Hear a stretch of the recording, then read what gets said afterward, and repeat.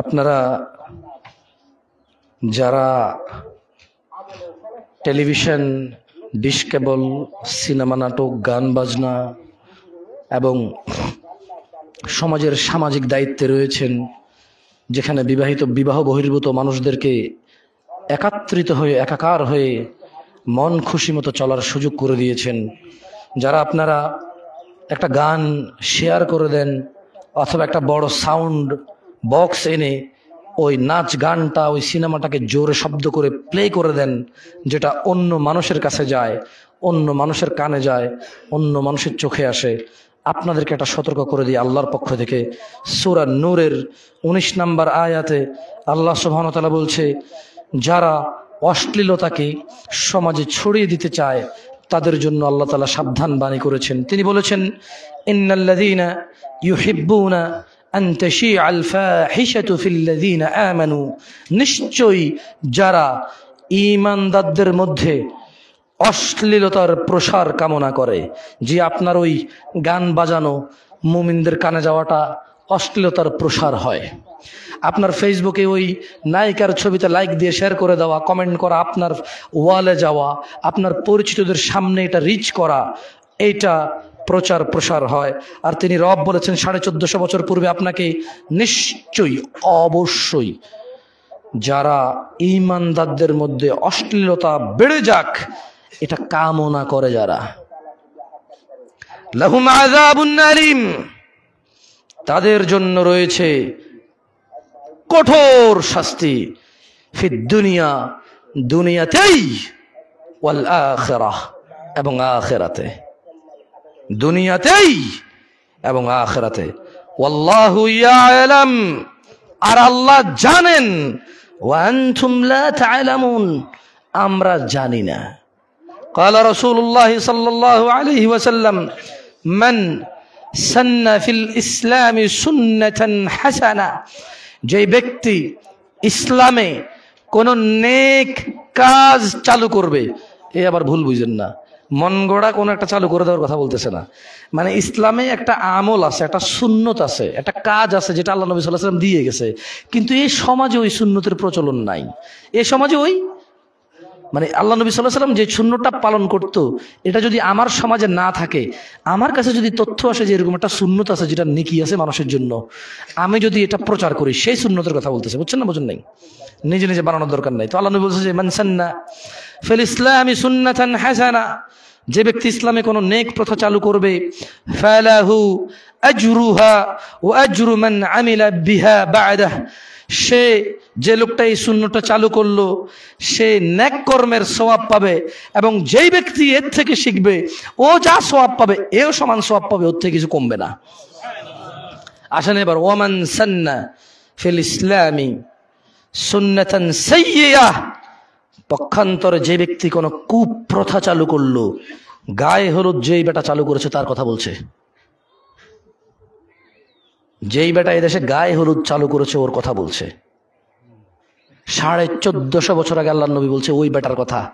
যেই বেটা বলতেছে যে, বিয়ের মধ্যে গান বাজনা বাজা দেবে মলেকা বানুর বিয়া গো। কি জানেন পরে বিয়ের বাজনা বাজে। হুম। যেই বেটা বিয়ের মধ্যে চিন্তা করছে যে, এরকম একটা জিনিস বাজানো দরকার। ওই বেটার কথা বলছে।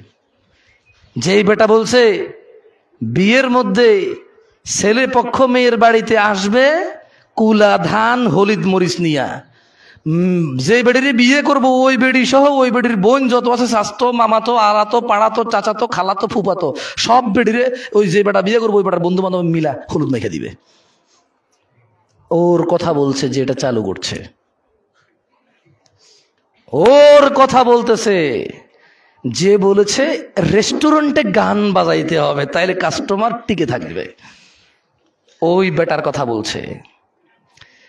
যে বেটা বলেছে মুসলমানদের ঈদ মুসলমানদের রোজা মুসলমানদের আনন্দ, মুসলমানদের ত্যাগ তিতিক্ষার মাসে, মুসলমানদেরকে জামা কাপড় কিনে দেওয়া মানে জামা কাপড় বেচার ফোন দিতে সুপার শপ শোরুম খুলবে, বড় বড় শোরুম খুলে ওখানে গান বাজাই দেবে ইংরেজি আর কাপড় চোপড় বেচবে। হ্যাঁ মুসলিমরা পাগল হয়ে গেছে। সারা মাস রোজা রেখে জামা কাপড় কিনতে যায়, গান না শুনলে মুসলিমরা পাগল হয়ে যাবে। এদেরকে গান শোনাও। ভালো করে তোমার কাপড় চোপড়ের দোকানে গান বাজায় দাও।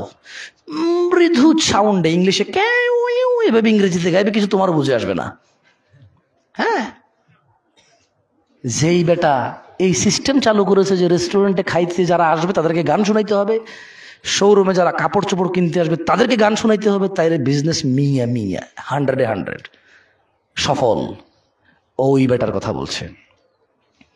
যেই বেটা এই ইউটিউবারদেরকে বুঝাইছে, হুম, তুমি কষ্ট করে আসো, তোমার বাস ভাড়া যায়, গাড়ি ভাড়া যায়। হ্যাঁ তো তোমার টাকাগুলো কে দিবে তাইলে? তো একটা কাজ করো, তুমি ইউটিউবে ভিডিও আপলোড দাও। ইউটিউবে তুমি ওয়াজে তো কত মানুষের গান, সিনেমা, নাটক আজে বাজে জিনিস দিয়ে অ্যাডসেন্স দিয়ে টাকা কামায়। তুমি তো ভালো কাজ করতেছো। কি করতেছো? তুমি তো ওয়াজ দিচ্ছ, ওয়াজ। কিন্তু এই বেটাকে কে বুঝাইবে? যে বেটা সিনেমা দিছে, ওরও ইউটিউবে সিনেমার জন্য টাকা দেয় না অ্যাডের জন্য দেয়। তোরও ইউটিউবে ওয়াজের জন্য টাকা দেয় না অ্যাডের জন্য দেয়। কে বুঝাবে রে? ওই যেই বেটা এটা চালু করেছে আর বলেছে যে, দিন প্রচার হওয়া উচিত। আমরা মনে করি হুজুরে অনেক পিছিয়ে আছে। তো কি পিছিয়ে আছে?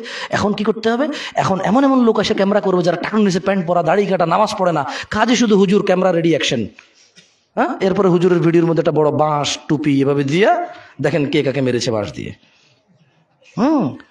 এই যেই বেটা ওকে ইনকাম শিখাইছে, ওই বেটা আর যেই বেটাটা শিখছে, ওই বেটার কথা বলতেছে জায়গায়। কি বলতেছে? হাই রে ভাই আস্তাগফিরুল্লাহ আযীম আস্তাগফিরুল্লাহ আস্তাগফিরুল্লাহ আস্তাগফিরুল্লাহ ওয়ামান সান্না ফিল ইসলাম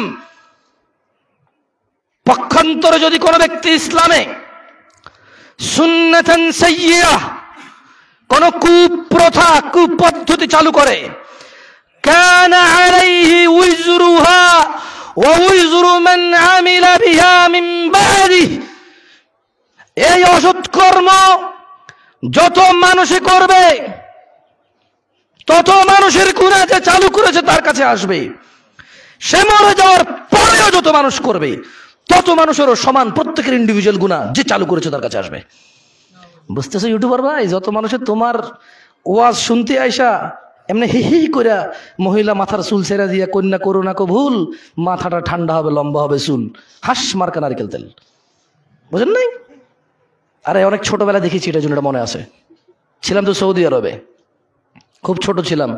একটা মহিলা এরকম চুল নাড়া দিয়ে এসে বলতো। হাসকার নারকেল তেল এই অ্যাড তো এগুলোই আসে নাকি? মিউজিক ছাড়া অ্যাড হয় নাকি? মহিলা ছাড়া তো অ্যাড হয় না এখন। জুয়ার অ্যাড আসে, জুয়ার অ্যাড দেখেছি আমি। এবংগুলো স্কিপও করা যায় না, বরাবর দশ সেকেন্ড চলে। বুঝতে পেরেছে ইউটিউবার ধর্ম প্রচারকারী, ধর্মীয় ভাবে পৃথিবীর সবচেয়ে হালাল উপার্জনকারী ভাই আমার। তোমার উপার্জন জুয়ার অ্যাড থেকে আসে। মহিলার মিউজিকের অ্যাড থেকে আসে। তুমি আর তোমার যেটা শিখাইছে যে এটা ইসলামিক ইনকাম কইছে এই দুইজন আল্লাহ নবী বলছে, আমি বলি নাই। হাদিস কোথাকার? দাঁড়া দাঁড়া দাঁড়া দাঁড়া সহি মুসলিমের হাদিস। যাও, এবার তো কামিশ আসছে। সহি মুসলিমের হাদিস। বুঝো নাই? ওমান সান্নাফিল ইসলামে সুন্নাতান সাইয়্যিআহ। আর যে ব্যক্তি ইসলামে কোনো কুপ্রথা চালু করল, কুকাজ চালু করল মুসলমানদের মধ্যে অশ্লীলতা প্রচারের জন্য, সে যা করেছে তার গুণা তার হবে। তারপরে যারা এটা তার থেকে থেকে করবে, তাদের গুণও তার কাছে আসবে। এবার তুমি বুঝে নিও তুমি কি করতেছো। আল্লাহ আমাদেরকে বোঝার তৌফিক দান করুন। ওমা তৌফিক ইল্লা বিল্লাহ।